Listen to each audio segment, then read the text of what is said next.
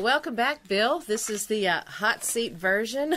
I'm ready. I'm ready show. for. I'm ready for stuff now. and and you know what? You're going to get double teamed tonight because I've got a guy sitting here that's going to help me out on this interview. He's got lots of questions for you as well. cool. So you have been to Colorado. You have been to New Mexico since you were last here, and you finally came back home to Texas. Bless your heart. And really, most of that happened because Susan wanted to be by her son, who lives in Rowlett. Oh, okay. So we're eight, eight or nine miles away from him. and Okay. she's still working on him as he's he's a good good guy. He's going to be a great kid as he gets older.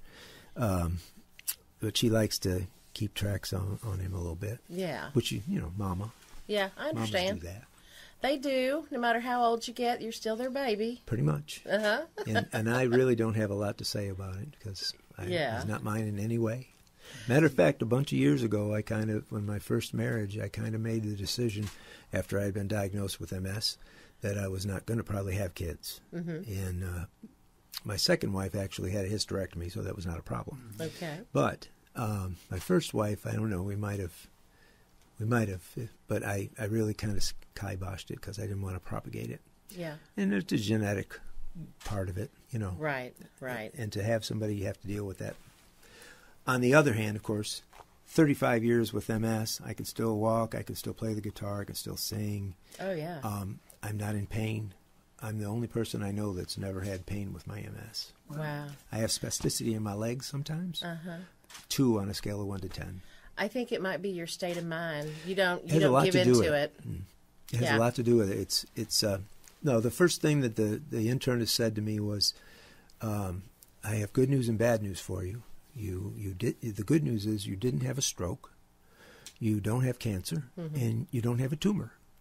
You prob- bad news is you probably have multiple sclerosis, and you're going to live a normal lifespan." And when she said that to me, I just went, "Okay." She said, "You're just going to have trouble getting around." You may have cognitive issues eventually. You've got chronic fatigue. It's going to be spasticity is going to happen. All those things have happened. Right. But because she said you're going to live a normal lifespan, and I was 31 when I got diagnosed. Okay. I'm six, going to be 67 in May. Yeah. So it's uh, Yeah. I'm taking it like it is, and I be, because of running MS support groups for the MS Society for 20 years, I've seen everybody. I've seen quadriplegics. I've seen people you wouldn't know they had a problem, Mm-hmm. and they had to deal with it. Right. My groups are always uh, talking groups. We don't have educators come in and teach us how to do stuff we all know about because we all live with the damn thing. Right. And uh, we just vent, talk about stuff, and it's the best way to run a support group, from Right. what I've seen. And give suggestions on how to make things better that you found help you in your life, and that can Yeah. pass on to other people and make a big difference. I'm sure. I have an entire spiel that I go into. It's about seven minutes long, so I'm not going to do it here. but basically, basically, I tell them the, the just ju- the gist of it is that um, when I got my poker hand with MS, I got three aces in the draw. Uh-huh. And I dropped those two cards off, and I got another ace. That's a good hand. Yeah. That's going to probably not be beaten for by a lot of hands. Uh-huh. And that's because I never had the pain that a lot of people I know. My second wife actually had MS. We met at my support group Oh, okay. and she lived seven on a scale of one to ten. She had a methadone uh, uh, prescription that she used constantly, Mm, and it didn't just. She, she'd say it would just dull the pain for her. Basically, right. Wow. we don't need to talk about this much. We? no, we don't. Let's Just talk saying. about your songwriting and all these new songs that you've got, and you have a new album. So tell us about it. well, I can I can show it to you. This is the new album. This picture on this front of this is also on my shirt, oh, All right. and that's my Maine Coon Willow. She was sitting up on the table looking out, and I took this picture with my phone, and I and I put it into Photoshop, and I told it to posterize it, and it put all these colors in here, Oh, nice. and it turned it into a work of art. It's beautiful. Yeah. I love it. The thing about the album, though, is mainly it was I, I my last album came out in 2010. Tom Prasad Rao produced it, matter Right. of fact, and uh, I mean I had songs since then. I should have had another album out, but when Susan and I got together, it started saying knocking on my door. I, let's go, let's go. So I started working on uh, on getting the songs prepared. I do Pro Tools at home now on my on my in my office, and um, I called my friend Dave Nachmanoff. I don't know if you know him. Yes. He's yeah. Dave's you a didn't. Dave's a, been an old friend from. I think I met him at yeah. Yeah. I th- met him at uh, Davis. I think Davis, California. I met him at the uh, Falcon Ridge Folk Festival in Hillsdale, New York, a bunch of years ago, like '98, and we bonded, had a good time together. When I came around to wanting to do this album, I wanted to find somebody that could, I, I could afford, and I went to Dave, and he he basically said, I, I want to do this for you. I want to do this because I've always loved your voice. I've loved your guitar work, and I love your songs. And I said, okay. And he gave me quite a quite a good thing. And I, actually, I did a Kickstarter to pay for it, but uh, he basically played just about everything Yeah. except for my guitar and my vocal Wow. on the album. And you, will when you hear it, you'll love it. It's Oh, I can't it's wait. it's it's not like a real studio recording, but it's it is all done in my little studio and in his little studio Mm-hmm. and in a drummer studio in California and a lady who sang some harmonies in Minnesota. wow. We've never met other Isn't than me great? and Dave. Yeah. anyway, the songs when I started when Susan and I started getting together, I loved what she did. And of course, be, being a poet, you have to be able to work your meter to be able to get it to work for songs. Mm-hmm. And she was very open about letting me mess with them a little bit. And I I didn't change that many things, but I basically I had to to to make the thing come out as a song. I get it. Been there, done that. and she's she's my she's my favorite co-writer. I don't have that many, but she's she's my favorite person. a question on that. Um, on that co-writing, now she's the lyricist, Yes. and you come up with the melody and the the music to those lyrics. Yeah, and a lot of times, I will still I'll still write maybe ten percent of what's there. For instance, on the Mayrose song, the bridge in that song, I wrote that. Okay. She wrote everything else, and I took it word for word. Um, there's a bunch of, and like I was telling you earlier, um, sh- her writing is so good that I have written better songs since then of my own. It's interesting. Yeah. It's just they they come out better, and maybe I'm looking at them more than I used to. Structure of the song changes possibly. Yeah, yeah. Um, this is not going to go on the thing, but I wanted to show you something. Um, my um, the one song that she wrote uh, when we had the shooter in Boulder Uh huh. in the Kroger. She re- she disappeared for a while, and sh- she came back with this work. I didn't touch anything on this, but she um, she basically wrote this song, and I can I can I can, instead of actually I wanted to show you the music for it because it's I'll just show a little bit of it. So.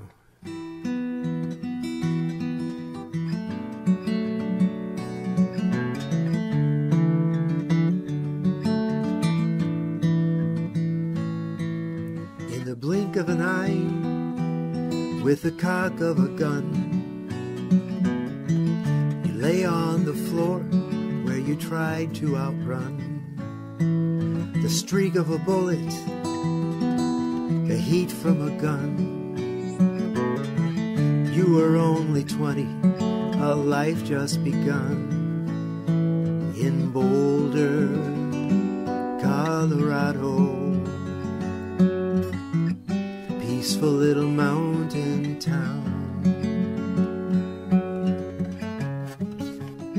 There's snow on the mountains, there's blood on the ground.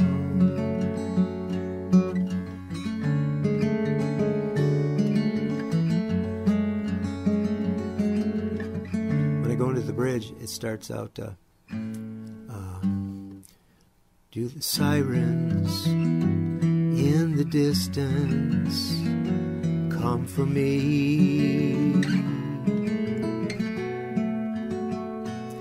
In the clearness of this vision I can see. That he pulled the trigger he held the gun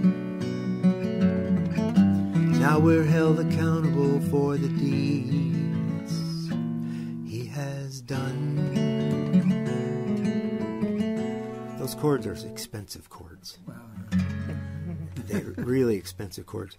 And uh, uh, the first, actually, the first take I did on it, I did in a different tuning. And I, she came out of the bedroom. I played. I thought that I wrote this really cool thing for this eerie song, right? Right. I played it for her, and she just sat there on the couch and went. No. Oh no, I went back to the drawing board and found that. that's beautiful. It's it kills me to think Yeah. about it. Wow. Anyway, the the lyric in that you can see that she's she's really got a thing. Oh, definitely. Yeah. I, I just love everything she does. I wish I could get her to write more. Do you do that often where you change the tuning to maybe come up with different chords? Yeah. Um, sometimes it's chords, sometimes it's texture, sometimes it's sound that I just want to do. I actually, this other guitar is the one that's in a different tuning right now. Does Susan ever get um, music in her head that comes with her lyrics, and she'll just you. like sing it to you? Uh, no. No? She she's not musical at all. Um, she knows when it's wrong, like what I did with uh, Right. that song. She said that is not it. And the thing with uh, with the uh, Puff of Smoke song, Right. sounding like uh, Horse with No Name. Right. She knew it was not right. Yeah. And she'd say that, and then I'd go back to the drawing board. Okay. That was great. I love that one. Thanks. Yeah. Those changes. It's Yeah. yeah, I love doing those chords. Mm. These things, there's there's a lot of cool stuff when you start messing with capos. At first, I didn't know why you had the the one down there at the bottom because I thought, you know, the capo was on. Yeah, this the, is on a real six string. This is a real six, six string. These are both three string capos. Ah. and when I take this, if the first thing I did was I thought this is weird. I put these two together like this, and I played this. Hmm. Then I dropped it down another. Oh wow! Mhm, Oh my God. difference, huh? and then I brought it to here and took the gender out. I took the major and minor out of it so that I had to do. Now you're thinking music theory all this time. Yeah. Okay. I, I loved theory when I was in college. I got my first degree in uh, composition. I wanted to write. I wanted to be John Williams, write for orchestra, and I'd never really got anything written because it's hard to get people together for that. I I have manuscripts somewhere, but I'm, I'm I don't even really know where it is anymore. But when I got to the point where I wanted, I knew I was going to do music the rest of my life. It was a simple thing of doing it by yourself mm-hmm. and a lot of these things pull out stuff that and f- if you look at what i did with this one here in particular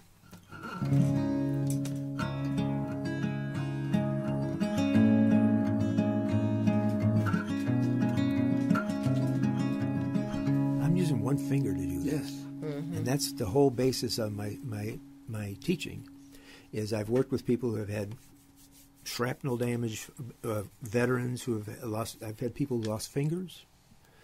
Um, you get to play, get somebody to play again, even with one finger, and it's like my heart is full. I had a, I had a woman come up to me at Rocky Mountain uh, Song School one year, and she said, "Bill, I'm going to go to one of your mentor sessions. I something happened the other day, and I got to ask you about it." And so she came to my men- the mentor session, and she said, "I had a pop in my wrist. I don't know what it was, but I can't make a bar chord anymore." And I said, "Okay, show me." And she, in standard tuning, she played a C chord just fine. She played a G chord. She went to the F bar, and you could just see it. You could just see this thing. Oh wow. And I said, wait, okay. And I took a full capo and put it on the fifth fret and a three string on the seventh fret. And I proceeded to play her song with one finger. And she started crying. And I said, uh, what was her name? Uh, shoot, I forgot her name now. Anita. I said, Anita, all you got to do is take your songs that you are having trouble with and do this to them.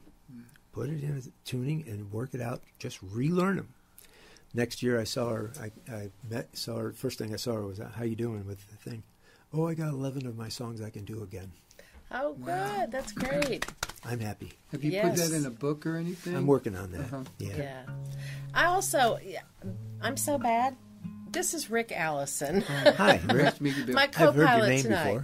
Oh. Somewhere along the line. No, nothing nefarious or anything. No, I used to work at a studio, and well, in 1980, I, I worked on uh, uh, Harry Chapin's Oh, did sequel you? album. Yeah, Oh my gosh. at uh, Criteria, but down there. But uh, your songwriting is just very so similar. The, You- just the pictures that Yeah. come up, you know, through the. I love story song. I'm- I'm a Harry Chapin. I do about 20, 22 songs of his off the top of my head. Oh wow! I actually put them in, in the place where I can actually play them. Pull this out. Get it out of my way. I'll just play a little bit of this so you can see what I do. Because I, you know the song. Ah.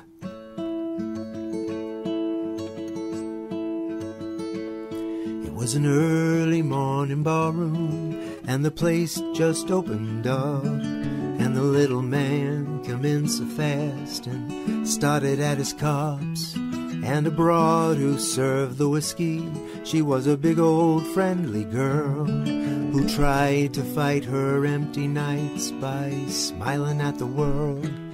And she said, Hey, bub, it's been a while since you've been around. Where the hell you been hiding? And why you look so down? I got all of those. Oh yeah. Oh, Put 'em yeah. in places where and I you could didn't sing hear it sound or something. That, Um, I, you know, I've, I get accused of, of channeling him from time to time. right. Uh, my uh, WOLD, uh, I put in uh, D tuning, D A D F sharp A D, Mm. and I put two capos down, a full and a three string, and it in D D A D F sharp A D major sound, right? The capo goes down and the thing goes into a minor, and all of the song, all the chords that come out of it are just exactly what he wrote in that song. Were you doing the capo things before you had MS? No. Um, I started, the first person I ever saw doing the capo thing was David Wilcox. And he, he cut up Kysers. He cut the Kyser capos up so he could have just three strings covered instead of Mm. five, six. And I saw him do it in the show. I thought, I'm going to do that. I cut my first Kyser, and, and I realized that the Shubbs are much better for me because I, Yeah. I do have one song, which, by the way, is Randy's favorite song of mine, called Painted Ponies. hmm I love that song. Mm. It's in Dadgad, and it uses four capos. Oh wow. Do you have a minute? Yeah. I'll show you. I'm very proud of the way this worked because it it really works. I gotta go to Dadgad first. okay. And you just tuned them I down know. by He ear. doesn't even use a tuner. I said I'm arrogant.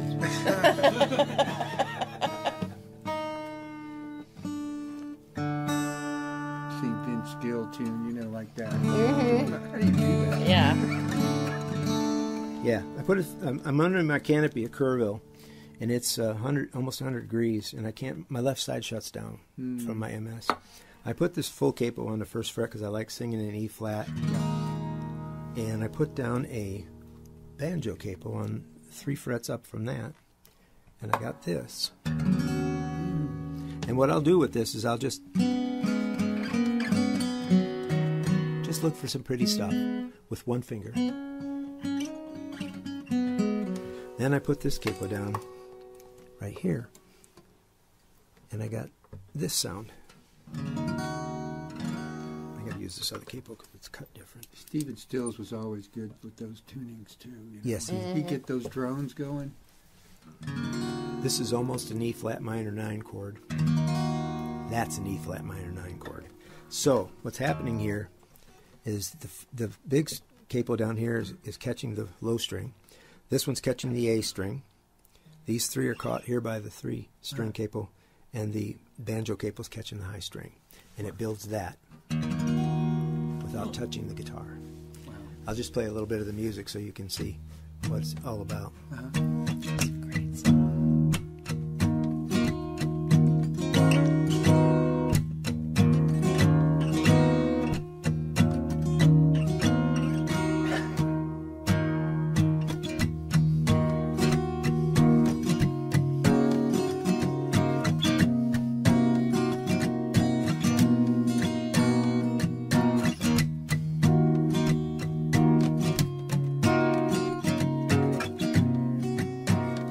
I go to my chorus.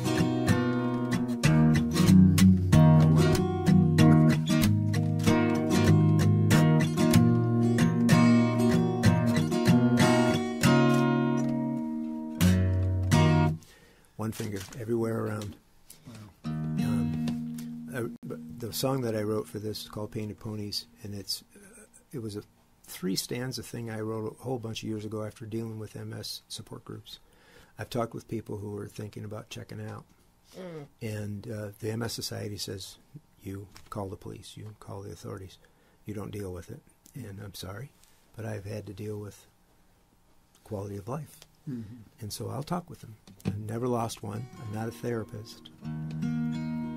I wrote this song. I wrote this three stanza thing, and it sat in my bookcase for years until I found that chord. I pulled it out. It fit perfectly, and it's. Uh, um, the first verse is about a, a truck driver who uh, a woman jumps out in front of him and he hits her and kills her. Yeah. Second verse is about um, a man living in a bed in an assisted living situation and knows he's never going to get out Mm. again. And the third verse is my take on it, which would be different if I had more things to deal with than I do. Mm. It would definitely. I would. I've considered it, but it's uh, basically it's a pro-choice kind of song. hmm Uh, if you want to pass, if you want to pass from this earth, you should be able to. Yeah. I've seen too many people that needed to do that. Right. Anyway, that's the extreme example of this. Mm. Totally extreme. And I'm, the book is going to happen. I've I've got probably three or four chapters of it ready to go, but I I, I want to make sure I get all the things because I have about eight different tunings that I that I teach people. Um, Dad Gad, Diggity Gad, uh, D tuning, uh, Open D, Open G, uh, D major, uh, uh, D tuning, D A D F sharp A D, uh, Daddy Ad. Um, yeah, let's drop the G string down to three half steps to E. It's amazing stuff, though. And I, I first thing I do is when I'm working on these is I, I put I paper it all out on 15 fret chord charts. I'll put a sharpie and put in the capo scheme, and then I'll dot where my dots are, where my fingerings are, and uh, I give when I teach, I give them a packet of those for each tuning, basically where to put the three string capo that works in Uh-huh. every tuning that I Mhm. teach them. Wow. So it's That's my great. pleasure. That's great. It's my favorite thing to do. Yep, you got to finish that book. I know. Yeah. I'm working on it. I'm gonna. And you have a writer that lives with you, so she might be able to help you out too. We can get in trouble that way too. uh, I I asked AI one day. I went on AI chat and said I showed them what I was doing, and they said, "Oh, you were doing this with a capo." Blah, blah, blah, blah, blah. And I said, "Wait, you got it wrong. Mm-hmm. This is what I did. Oh, you did this. Oh, well, that makes sense. What about this? Oh, wait, no, that's not right either. Mm-hmm. I'm teaching AI how to do what I do, I guess. Yeah. Oh yeah. wow. Do you work with Song with Soldiers? That program. That I never Darden have. I know I have a lot of friends who do. Uh huh. Um, I have worked. I've sat with a few veterans. Because I'm, I'm sure there's some that are, Absolutely. like you said, injured and maimed and not able to play, but they want to play. I actually had one woman who was not from the service. She was actually born with no fingers. She had a nub Mm. on her left hand that she used. She ac- already played actually. But when I when I showed her how to use the three string capo, I'm sure she just jumped on it and ran because she was already playing. Mm-hmm. But uh, anytime that's I tell people uh, when I'm teaching, and you have somebody you know that has a problem, let me know. Mhm. I have a friend out in Portland, Oregon. Name is Bob Howard, and I, I he started having arthritis issues, and I showed him how to play a B minor chord with two fingers, and he's on my Patreon list. My Patreon, I have a Patreon for the first four levels of my Patreon are for people who just want to help me out because I need the money. Mm-hmm. And then the last three uh, levels are for people who want to learn that kind of stuff. I've got four people on fifty dollars a month, and I just I do Zoom sessions with them I show them what I'm doing, and they and I'll ask them what do you what do you need from me, Mm. and then they'll say it, and I'll say we'll do this. I'll write it up for them. I'll send it to them. I give them a copy of the Zoom sessions so they always have it, Mm-hmm. Great. and uh, it's just it's fulfilling, totally fulfilling for me. Wow. That's enough about that, probably. So other I than talk this, about that for a while. other than this book that you're going to write and and all this good stuff, what else is down the down line for you? Do you think? Well, I'm planning on living another 30 years. Okay. So I'm going to be 96 Good. someday, hopefully. And I'm going to guarantee you money that I'm going to have a guitar and I'm going to be able to sing still and I'm going to entertain until go. I'm 30 years older than I am now. okay, Um, that's my plan. good deal. Um, yeah, I, that's basically it. Yeah. I've been a musician all my life. I come to my mom when I was five years old and said, "Mama, I'm going to be a musician," and she she reminds me of it now Mm-hmm. every time I see her. And by the time I was in, I used to sing in the church choir. I was a sopr- boy soprano. Those days are gone. Um, Puberty happened. yes. Uh, when I got to the third year of Catholic school, my parents ran out of money. My, they put my brother and sister through eight years of Catholic school. And um, by the time I got to fourth grade, they couldn't afford it anymore. So they put me into public school. And the first thing that happened was I took an aptitude test for music and I scored 104 points on it. Wow. And the guy looked at my embouchure and he said, You are a French horn player. And I started playing French horn in fourth grade Wow. played it all the way through college. Uh, it was a double major, uh, uh, performance-wise, uh, voice and French horn through my first degree. I actually got some graduate degree stuff. I didn't finish my graduate degree, but I went to Colorado, Boulder, and uh, spent three semesters there before I got tired of them telling me what my music was supposed to sound like. Oh wow. Yeah. Mhm. No, it's not yours. but uh, it's always been my thing. And after my, uh, thankfully, I had a, my first wife was actually a math tutor, and I decided to go back to school because she had an electrical engineering degree, and she worked to work at Texas Instruments. And I moved here with her uh, after we were married, and I went back to school at North Texas, and I got a computer science degree Oh, did you? ended up at working at TI also. Oh, cool. The weirdest thing, but top five music school in the country, and I got a computer science degree there. Yeah, I was about to say. I was at Lockheed Martin. We might have worked on some projects. Very possible. I was in HARM. I remember HARM. There's a couple of those things I Uh-huh, remember. I'm probably right. not supposed to talk about. yes, right. Uh, but uh, when I turned uh, in 2004, I started having cognitive difficulties. I was a Unix system administrator, and I was I did that for 12, 13 years, and I was good at HPs. I was the only HP expert in the entire Western United States, and I would have to go places to help people. About 2003, I started having trouble remembering what I knew, Mhm. and then having trouble looking up what I knew in a book. And finally, in uh, February of 20, 204, tw- 2004, I went out on disability. And I was out on disability until I turned 65, and then they took my disability money away because it only goes to 65. Oh, really? Mm. Yeah.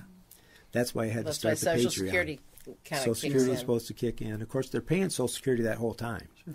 because they, the the disability company only pays about half of what Mm. you get. And I I actually paid for a sixty percent uh, tax free thing that I I held until a year and a half ago, Mhm. and now I have.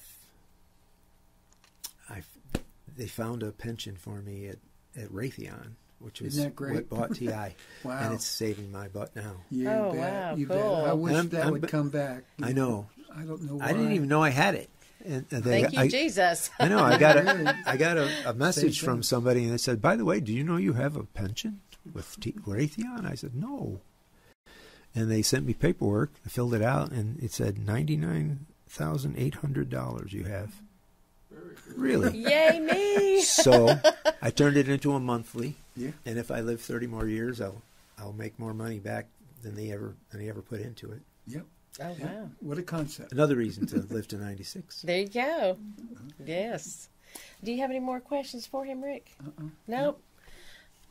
Do you have anything else you want to chat with us about? Gosh, and they had, I talk a lot, don't I? No, that's good. I, I'd much rather talk with somebody that talks back than me having to pull teeth. Oh, you no know. kidding. Yeah. Yeah. Um, I could give you my seven minute spiel. That's too much.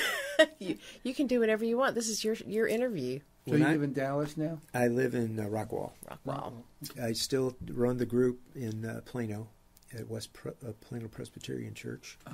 It's been going on there since the 80s. They've Wow. they've been a real good church for the group.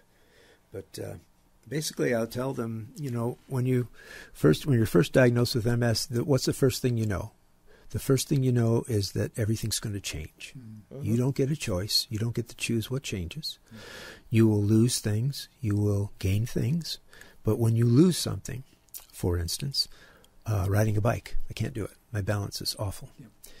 I can't ride a bike, so what do I do? I grieve over it. I go through the stages of grief. I can't do it anymore. And then I look for the next thing that I can do and go and do it and do it as voraciously as possible until it may even go away someday. If you do that and you live in this world with a chronic illness, unless you're having a lot of pain, pain is the wild card. Yeah. And I never, like I said, I've never had pain with it. So basically, when I lose something, I get I get to go through those grief stages. I've never lost this, thankfully, and I don't think I will I don't think you will either. because it's still it's my exercise basically. Mm-hmm. It's all I can really do because I can't stand long enough to exercise. Do you play any other instruments? I used to, well, French horn. I used Yeah. to. French horn, Um, yeah, but I mean like piano or anything like that? I I mess with piano. Um, I use MIDI to do a lot of Mhm. things on my on my Pro Tools, um, but I'm not fluent. And I'm fluent in this thing pretty Mhm. much. And I mean, I've got a mandolin. I used to play bass with groups, and I still record bass every once in a while. But uh, most of the time, it's just me and the guitar. And uh, my best friend.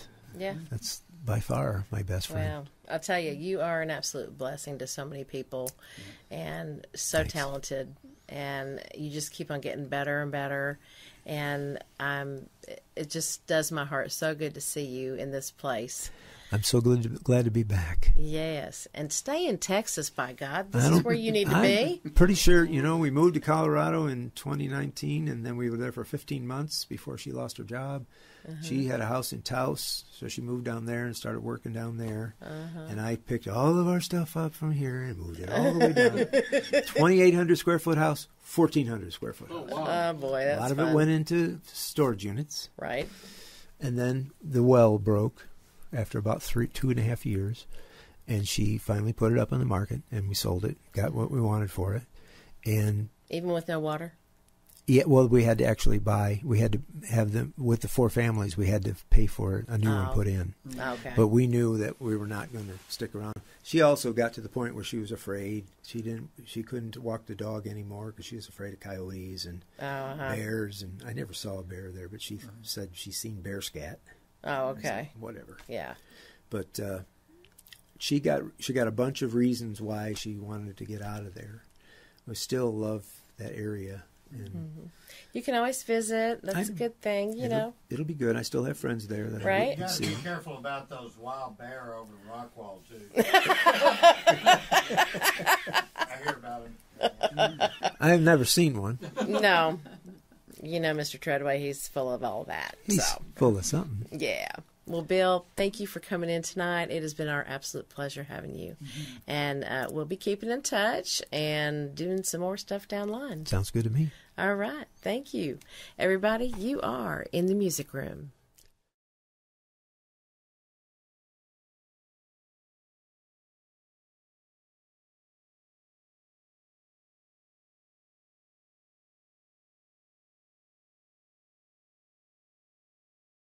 All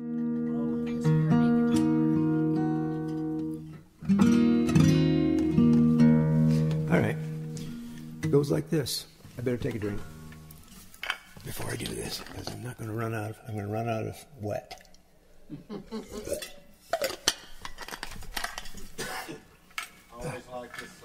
I know it's your favorite.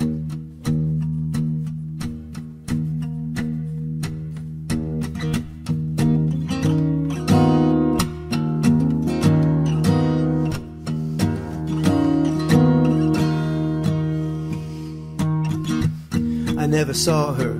She stepped out from behind that semi trailer. The thumping blood, her lifetime wasted. Her defining moment, I never wanted to see.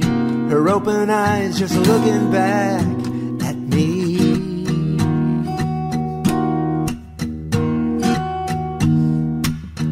The note tucked in her pocket let the world know that I was not the culprit to take what she let go.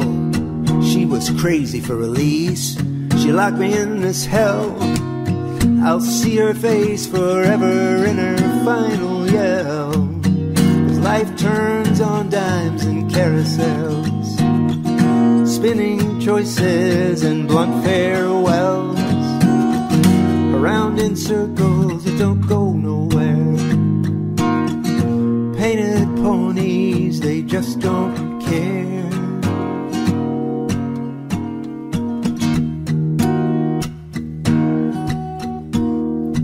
He said to me, I can't stand to live this way. The quality is gone, with no end to my suffering. I cannot go on. The sun, it never rises, the flowers never bloom, and there's no doubt in my mind I'll never leave this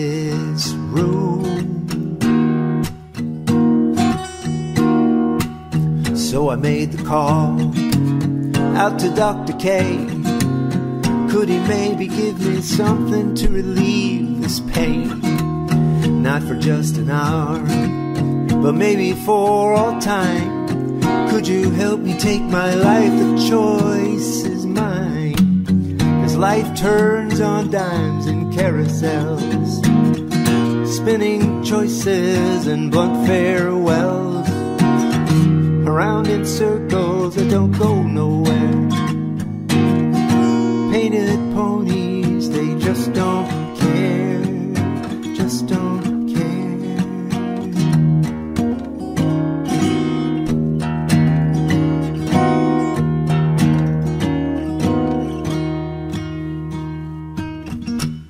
Now there have been some times in my time on earth that I've had to think about it. What is this life worth? And might there come a time that I could take no more? Would I reach the same conclusion? Close the door.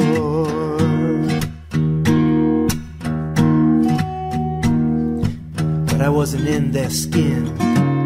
I never felt their loss. I didn't bear the weight of their massive cross.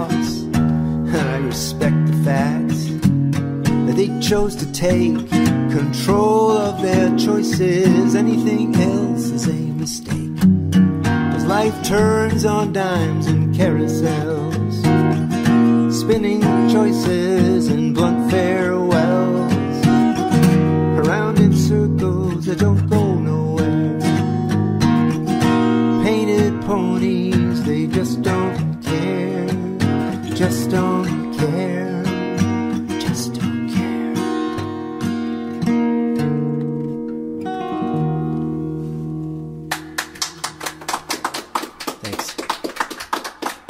fun thing about this is you just move this one capo up and you get this.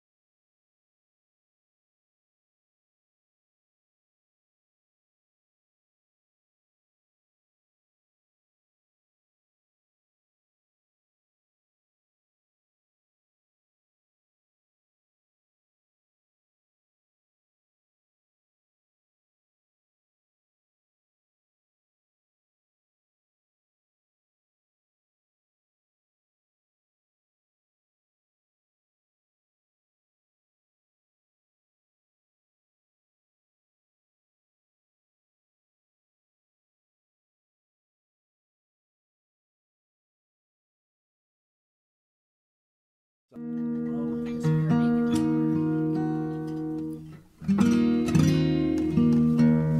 right.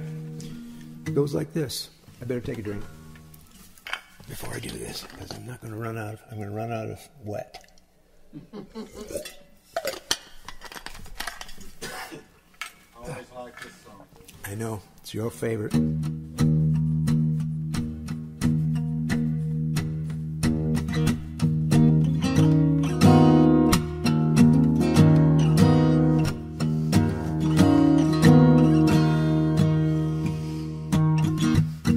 Never saw her. She stepped out from behind that semi trailer. The thumping blood, her lifetime wasted. Her defining moment, I never wanted to see.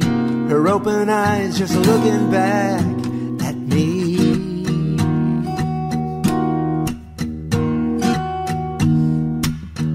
The note tucked in her pocket let the world know that I was not the culprit to take what she let go. She was crazy for release. She locked me in this hell. I'll see her face forever in her final yell. Cause life turns on dimes and carousels, spinning choices and blunt farewells around in circles that don't go nowhere. Painted ponies, they just don't care.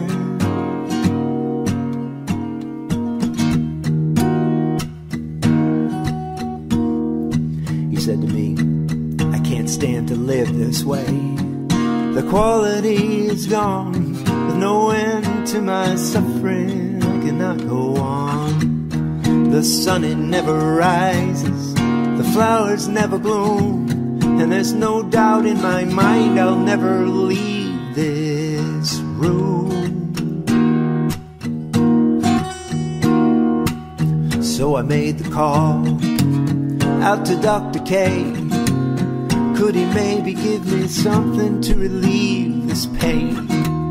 Not for just an hour, but maybe for all time.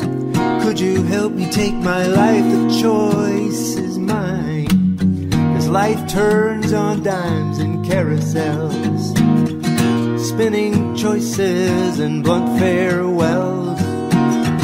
Around in circles that don't go nowhere.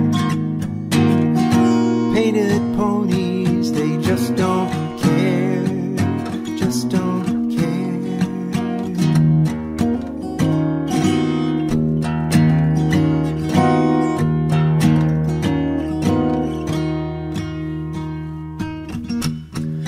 have been some times in my time on earth that I've had to think about it. What is this life worth? And might there come a time that I could take no more? Would I reach the same conclusion? Close the door.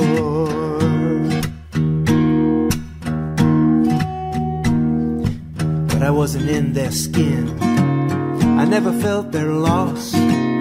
I didn't bear the weight of their massive cross. I respect the fact that they chose to take control of their choices. Anything else is a mistake.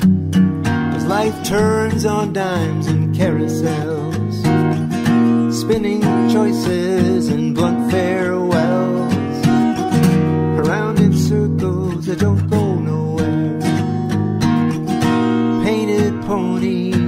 Just don't care. Just don't care. Just don't care.